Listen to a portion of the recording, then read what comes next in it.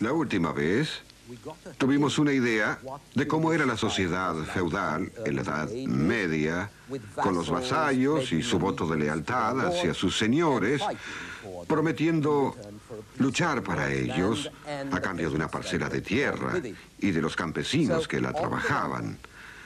Así que, por un lado, había una aristocracia de señores y vasallos con propiedades, y por el otro, los campesinos o siervos que hacían todo el trabajo y a cambio obtenían el permiso temporal de continuar con vida. Pero había una tercera clase. Esa tercera clase era el clero, que también integraba la estructura del poder feudal. A la iglesia le había ido bien. Le habían otorgado tierras y tesoros y podía administrar sus riquezas con mayor continuidad que los terratenientes laicos de diversas posiciones sociales que con frecuencia salían a robar a otros señores. La iglesia jamás moría, así que se enriquecía cada vez más y produjo un nuevo despertar cultural alrededor del año 1000. Esta era fue descrita por un monje de Borgoña llamado Glarber, quien en general no tenía gran opinión de su época, pero que nos cuenta que se reanudó la edificación de iglesias y que las naciones de la cristiandad rivalizaban unas con otras acerca de cuál profesaría su culto en los edificios más bellos. Estas iglesias de las que nos habla Garber eran de lo que se llama estilo romano o romanesco. El estilo gótico surgió un siglo después pero son bastante espléndidas y mientras la edificación pública evolucionaba, también evolucionaba el pensamiento público, o más bien el eclesiástico, respecto a los asuntos públicos. Y esto produjo un nuevo modelo social mucho más realista que el anterior, que como recordarán, consideraba al rey un hombre de paz al centro de una sociedad en la que se protegían los unos a los otros. Aunque el clero consideraba importante al gobernante cristiano, ahora formaba parte de una sociedad cristiana más amplia que se dividía en tres categorías sociales, cada una con una función particular. Los hombres que oraban, los que combatían y los que trabajaban. En este modelo, lo espiritual era superior a lo laico y la espada era superior a la laya. Uno ruega para salvar su alma, el otro combate para salvar los cuerpos y bienes de su comunidad, y ambos merecen ser mantenidos con el trabajo de los demás. De modo que por debajo de ellos están los campesinos, trabajando para alimentarlos. Era un modelo sencillo y su misma sencillez lo mantuvo vigente durante mucho tiempo. Este modelo justificaba además el ocio haciéndolo parecer honroso. Y deshonroso el trabajo manual, que por supuesto lo era inicialmente. Quienes podían rezar o combatir, lo hacían. Y quienes no, trabajaban. Así que producir era algo vulgar. Y los nobles y píos eran ociosos e improductivos. Se ha afirmado que existía una tradición anticristiana. Después de todo, Cristo era carpintero. Y las normas monásticas, como lo de San Benito, empleaban el trabajo manual.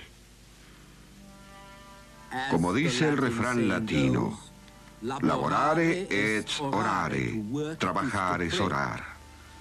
Pero el hecho es que las únicas razones por las que las reglas monásticas recomendaban trabajar eran, en primer lugar, evitar el aburrimiento, que podía desviar la mente en direcciones peligrosas, y en segundo, enseñar humildad, precisamente porque trabajar era un acto de humildad.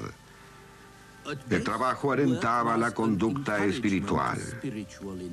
Con este Se subvencionaba la oración y la meditación para que las dificultades materiales no interfiriesen en aquellas. La productividad no era algo concerniente a las mentes nobles. Esta forma de pensar dejaría su marca en la sociedad y la cultura occidental. El modelo tripartito del clero, los nobles y los plebeyos, que debía representar orden, creó en realidad fricción, amargura, hostilidad, nacidas de las relaciones de poder que éste representaba. Observando esta fricción, la Iglesia procuró reducirla propagando la idea de que el orden social se basaba en la cooperación y los servicios mutuos. Esta obra, titulada Alegoría del Buen Gobierno, del pintor del siglo XIV Lorenzetti, refleja la idea de la cooperación y de la dependencia mutua. Los símbolos de justicia, paz, fortaleza, prudencia, bien público, magnanimidad, templanza y caridad están todos por encima del pueblo unido más abajo.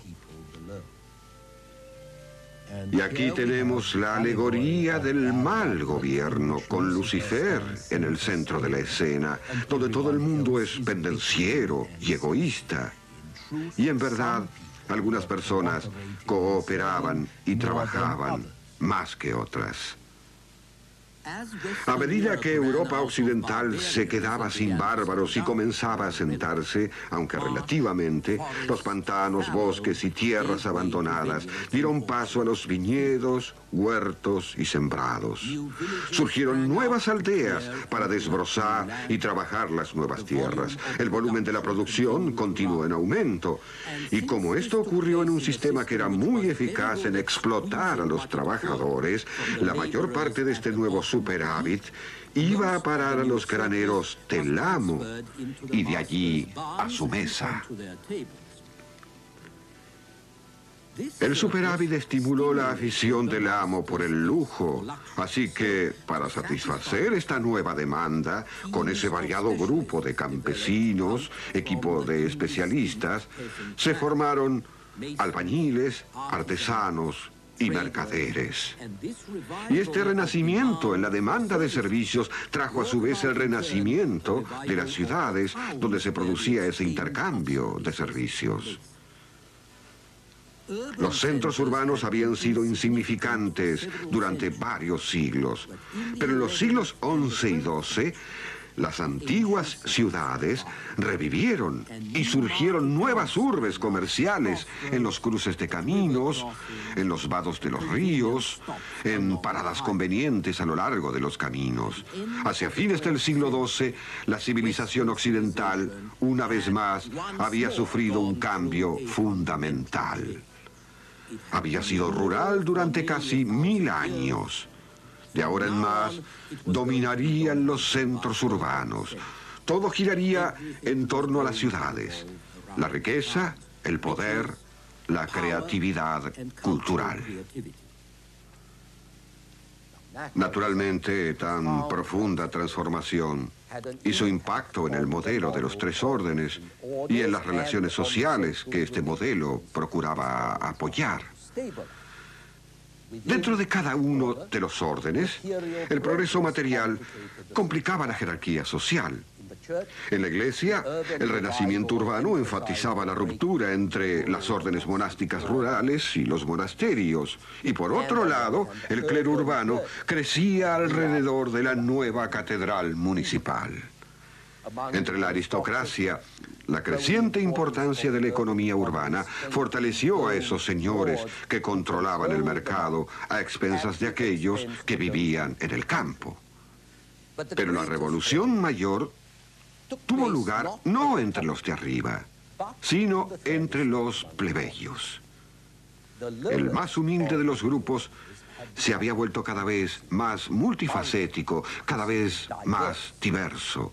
Los campesinos seguían representando a la gran mayoría, pero hasta en el nivel rural había más movilidad y algunos campesinos estaban en mejor situación.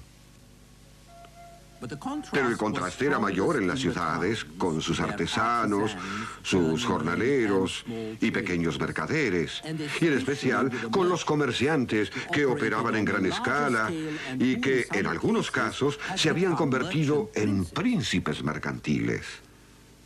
La organización profesional también estaba produciendo gremios y hermandades en defensa de los intereses de una jurisdicción o de una industria y corporaciones de maestros y estudiantes en las nuevas escuelas creadas.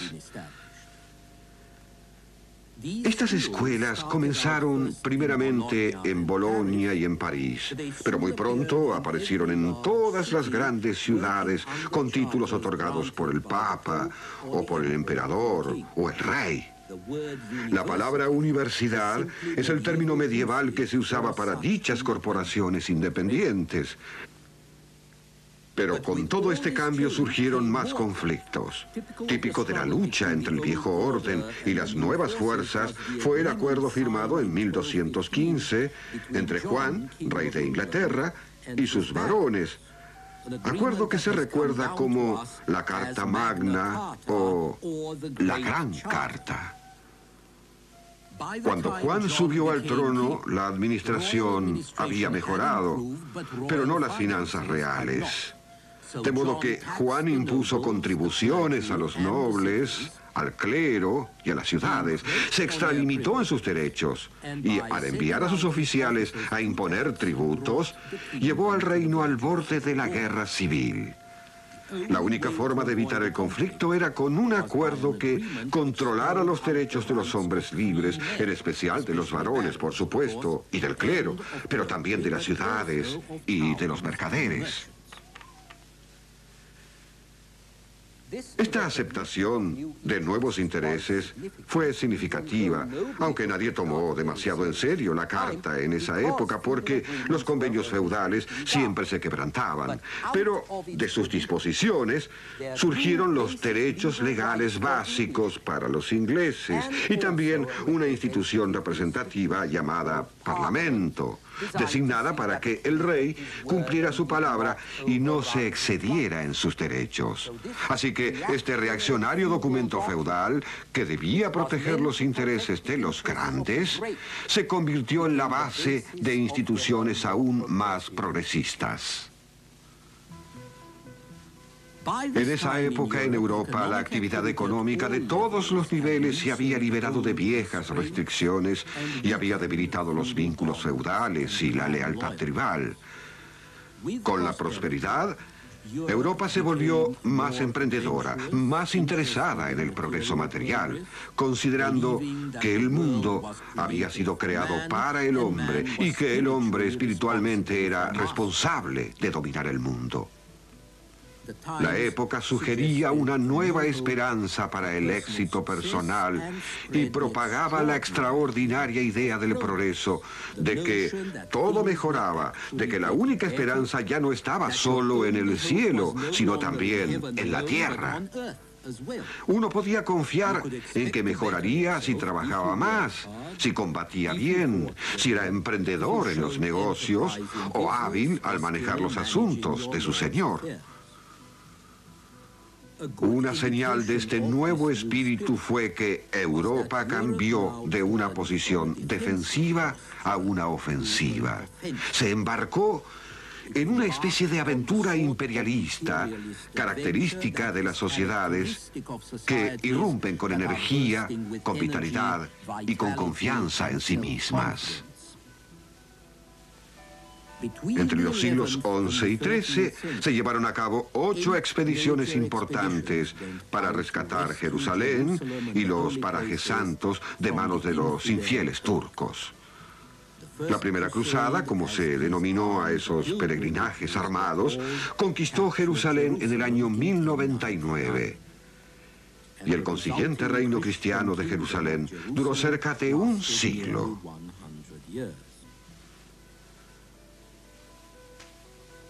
Sin embargo, hacia el siglo XIII, el entusiasmo original había mermado. En 1204, la Cuarta Cruzada, que se suponía era contra Egipto, terminó conquistando Constantinopla en su lugar y estableció allí un reino latino que duró 60 años. Pero la gente ya estaba perdiendo interés.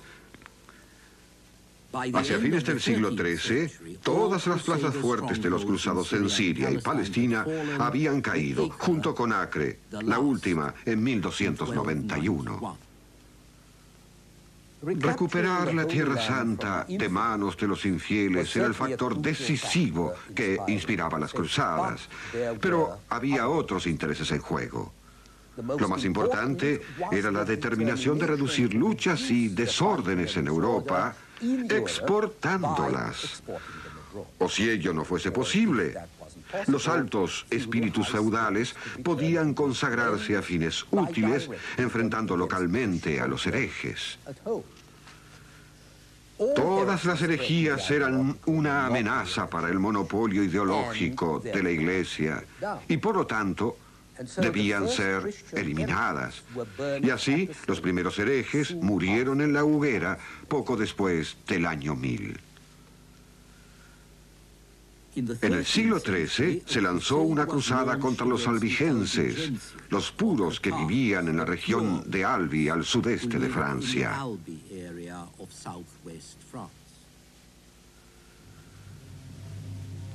Los albigenses eran una amenaza bastante seria porque consideraban que Dios y Satanás, el bien y el mal, tenían idénticos poderes.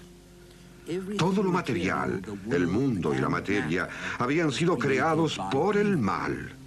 Ello incluía las estructuras políticas, el sistema feudal y también la iglesia, ya que ésta fingía que era posible la salvación en este mundo. De modo que los albigenses eran una amenaza para quienes tuviesen poder. No podía tolerarse algo semejante, de modo que fueron eliminados sin clemencia. Los cruzados de la Edad Media no hacían discriminación. Mataban a los europeos con tanto entusiasmo como a los que no lo eran. Luego de sitiar una plaza fuerte albigense en Béziers, un soldado le preguntó al obispo cómo podía diferenciar a los buenos católicos de los herejes. Y el obispo le respondió, mátalos a todos, Dios reconocerá cuáles son suyos. Pero la cruzada más popular fue una que se realizó para convertir a los extranjeros paganos, preferentemente no demasiado apartada. Y si estos no se convertían, los mataban y ponían a los buenos cristianos en sus tierras. La reconquista de España de manos de los árabes fue una campaña provechosa que aconteció alrededor del año 1490 y las expediciones que España y Portugal enviaron al norte del África y a través del Atlántico a América también fueron cruzadas de varias clases. De modo que la tradición de las cruzadas y la experiencia colonial se fusionaron una con otra, como ocurrió con sus inspiraciones, altos objetivos objetivos espirituales y bajos objetivos materiales, el deseo de partir y el deseo de librarse de enemigos molestos, el tesón y el esfuerzo y la codicia. Pero al mismo tiempo la gente intentaba afirmarse sin coacción por parte de los dignatarios y superiores, y especialmente sin la coacción de la Iglesia. En el siglo XII, Surgió una cultura secular, profana, emancipada de la iglesia, a veces crítica con esta, y que reflejaba un nuevo público con gente de ciudad que deseaba gozar su nueva prosperidad, y con señoras y señores que deseaban divertirse. En Colonia, que era la ciudad más importante de Alemania, aunque relativamente, los pantanos, bosques y tierras abandonadas dieron paso a los viñedos, huertos y sembrados. Surgieron nuevas aldeas para desbrozar y trabajar las nuevas tierras. El volumen de la producción continuó en aumento. Y como esto ocurrió en un sistema que era muy eficaz en explotar a los trabajadores, la mayor parte de este nuevo superávit iba a parar a los graneros del amo y de allí a su mesa. El superávit estimuló la afición del amo por el lujo, así que para satisfacer esta nueva demanda, con ese variado grupo de campesinos, equipo de especialistas, se formaron albañiles, artesanos y mercaderes. Y este renacimiento en la demanda de servicios trajo a su vez el renacimiento de las ciudades donde se producía ese intercambio de servicios. Los centros urbanos habían sido insignificantes durante varios siglos, pero en los siglos XI y XII las antiguas ciudades revivieron y surgieron nuevas urbes comerciales en los cruces de caminos, en los vados de los ríos, en paradas convenientes a lo largo de los caminos. Hacia fines del siglo XII, la civilización occidental, una vez más, había sufrido un cambio fundamental. Había sido rural durante casi mil años. De ahora en más, dominaría... La última vez tuvimos una idea de cómo era la sociedad feudal en la Edad Media, con los vasallos y su voto de lealtad hacia sus señores, prometiendo luchar para ellos a cambio de una parcela de tierra y de los campesinos que la trabajaban. Así que, por un lado, había una aristocracia de señores y vasallos con propiedades, y por el otro, los campesinos o siervos que hacían todo el trabajo y a cambio obtenían el permiso temporal de continuar con vida. Pero había una tercera clase. Y esa tercera clase era el clero, que también integraba la estructura del poder feudal. A la iglesia le había ido bien. Le habían otorgado tierras y tesoros y podía administrar sus riquezas con mayor continuidad que los terratenientes laicos de diversas posiciones sociales que con frecuencia salían a robar a otros señores. La iglesia jamás moría, así que se enriquecía cada vez más y produjo un nuevo despertar cultural alrededor del año 1000. Esta era fue descrita por un monje de Borgoña llamado Glarber, quien en general no tenía gran opinión de su época, pero que nos cuenta que se reanudó no interfiriesen en aquellas. La productividad no era algo concerniente a las mentes nobles. Esta forma de pensar dejaría su marca en la sociedad y la cultura occidental. El modelo tripartito del clero, los nobles y los plebeyos, que debía representar orden, creó en realidad fricción, amargura, hostilidad, nacidas de las relaciones de poder que éste representaba. Observando esta fricción, la Iglesia procuró reducirla propagando la idea de que el orden social se basaba en la cooperación y los servicios mutuos. Esta obra, titulada Alegoría del Buen Gobierno, del pintor del siglo XIV Lorenzetti, refleja la idea de la cooperación y de la dependencia mutua. Los símbolos de justicia, paz, fortaleza, prudencia, bien público, magnanimidad, templanza y caridad están todos por encima del pueblo unido más abajo. Y aquí tenemos la alegoría del mal gobierno con Lucifer en el centro de la escena, donde todo el mundo es pendenciero y egoísta. Y en verdad, algunas personas cooperaban y trabajaban más que otras. A medida que Europa Occidental se quedaba sin bárbaros y comenzaba a sentar, todo que por debajo de ellos están los campesinos, trabajando para alimentarlos. Era un modelo sencillo y su misma sencillez lo mantuvo vigente durante mucho tiempo. Este modelo justificaba además el ocio, haciéndolo parecer honroso. Y deshonroso el trabajo manual, que por supuesto lo era inicialmente. Quienes podían rezar o combatir lo hacían y quienes no trabajaban. Así que producir era algo vulgar y los nobles y píos eran ociosos e improductivos. Se ha afirmado que existía una tradición anticristiana. Después de todo, Cristo era carpintero. Y las normas monásticas, como la de San Benito, empleaban el trabajo manual. Como dice el refrán latino, laborare et orare, trabajar es orar. Pero el hecho es que las únicas razones por las que las reglas monásticas recomendaban trabajar eran, en primer lugar, evitar el aburrimiento, que podía desviar la mente en direcciones peligrosas. Y en segundo, enseñar humildad, precisamente porque trabajar era un acto de humildad. El trabajo alentaba la conducta espiritual. Con este se subvencionaba la oración y la meditación para que las dificultades materiales, la edificación de iglesias y que las naciones de la cristiandad rivalizaban unas con otras acerca de cuál profesaría su culto en los edificios más bellos.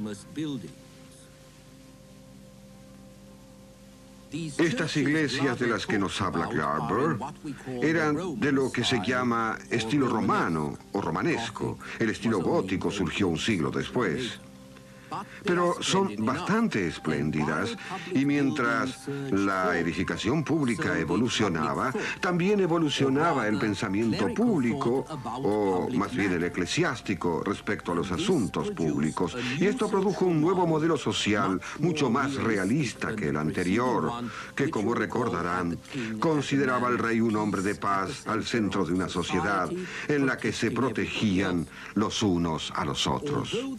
Aunque el clero consideraba importante al gobernante cristiano, ahora formaba parte de una sociedad cristiana más amplia que se dividía en tres categorías sociales, cada una con una función particular. Los hombres que oraban, los que combatían y los que trabajaban.